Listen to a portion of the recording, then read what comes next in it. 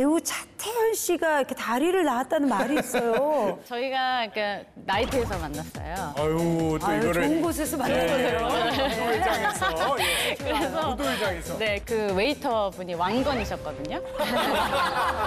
이름이 왕건. 왕건. 이름이 왕건. 웨이터 이름이 왕자. 네, 왕건. 맞아요. 또 왕건. 예. 근데 그 왕건이란 분이 저한테 차태현 씨가 이 방에 있다고. 근데 제가 진짜 팬이었거든요. 언제 만날 수 없으니까 어, 이거 기회다 그래서 방을 딱 들어갔더니 네. 차태현 씨가 아니고 같이 뮤직비디오를 찍으셨던 남편과 차승원 씨였어요. 아, 이제 이름이 차승원 네, 씨를 헷갈리- 차태현 네. 씨라고 잘못 얘기하신 네. 거네. 그래서 이제 제가 그 방에 들어간 게 인연이 돼서 남편이랑 결혼까지 하게 됐으니까.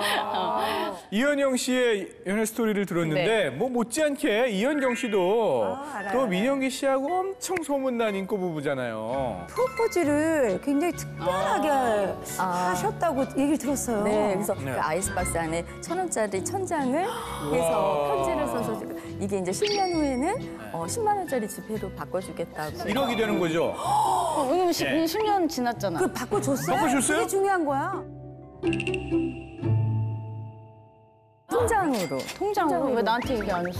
오 몰랐네. 1억이나 받아놓고 좋겠다, 부럽다. 좋겠다, 부럽다. 아, 자, 연애 얘기 그만 듣죠.